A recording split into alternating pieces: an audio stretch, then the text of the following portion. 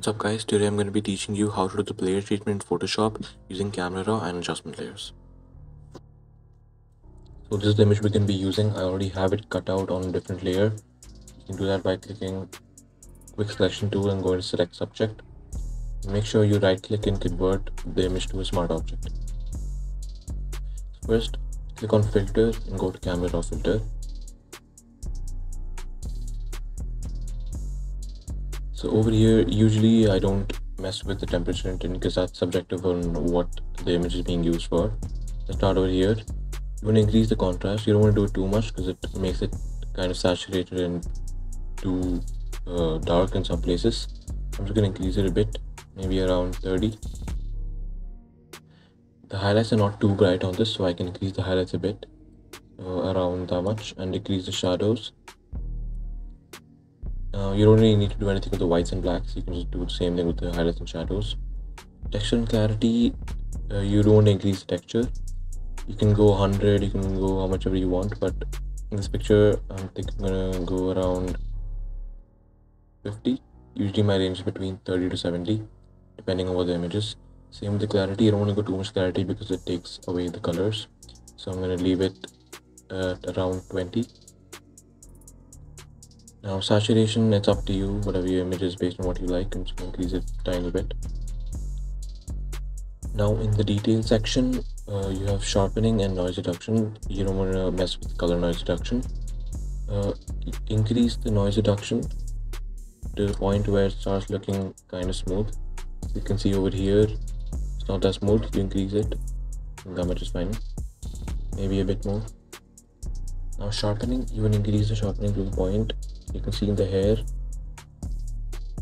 tiny sharpen over there in the hair this makes it look more dynamic it makes it look better overall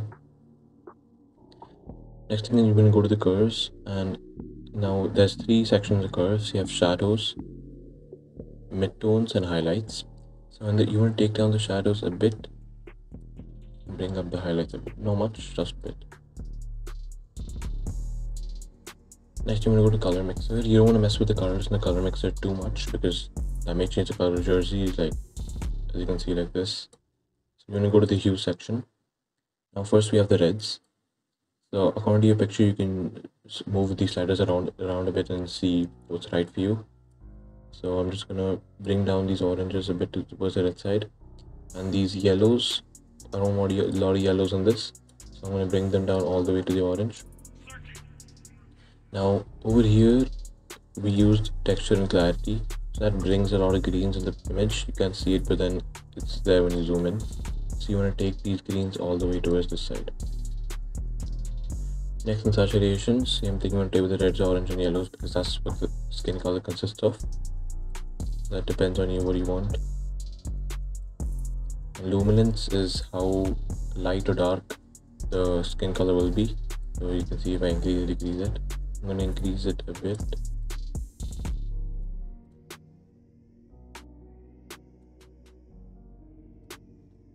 So now you're gonna get on with the camera raw you can see how much of a difference that already makes. Now what you do is select your image. Go to select color range. Now make sure this is selected on highlights. So here you have uh, two sliders fuzziness and range so fuzziness is how smooth the selection is, and range is how much of the highlights will be selected. You put all the way everything can be selected. So you want a bit of a selection on skin, something like that, and reduce the fuzziness a bit. That's fine. Now click here and open the brightness and contrast adjustment layer, and make sure you clip it to this layer. Increase the brightness all the way up. Now click on this layer mask and increase the feathers to the point where it starts looking smooth. Think about there you can see in, in these highlight areas get some smoothness. Next thing you want to go is click on this icon and go to selective color. So in selective color you have a lot of different colors to mess with but we're only be, be going to be using reds and yellows because that's what the skin color consists of. So you go to reds make sure you clip it now you want to reduce the blacks a bit and the rest of them are subjective to what your image is. Over here I think I'm going to remove some yellows. More magenta and more cyan. Do the same with the yellows make sure you take the blacks down and do the rest on your own. You won't go too much with this you should do, do a bit. That makes the skin look more dynamic next thing you want to do is reduce the opacity of this to maybe around 80 percent.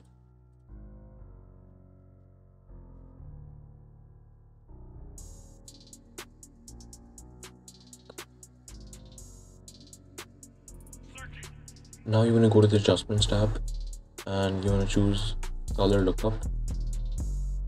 Clip it. And click over here and choose 3 strip dot look.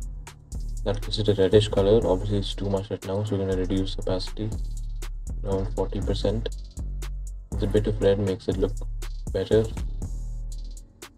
You now you want to go to gradient map and click on here.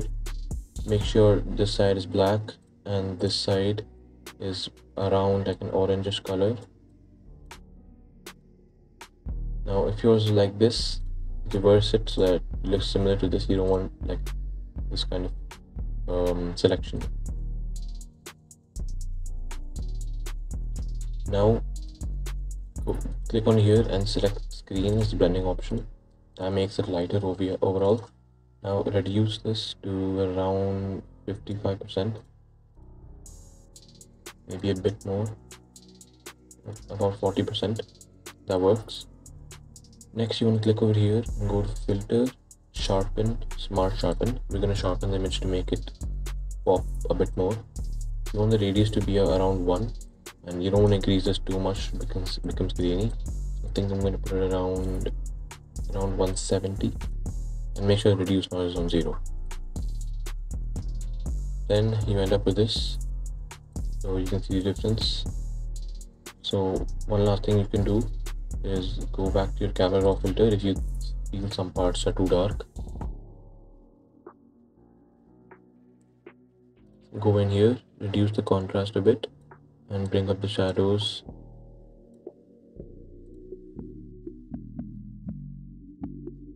And there you go. That's how you do the player treatment in photoshop. So you can see this is the original image and this is what we have after doing it uh, if you enjoyed the video and helped you make sure you like it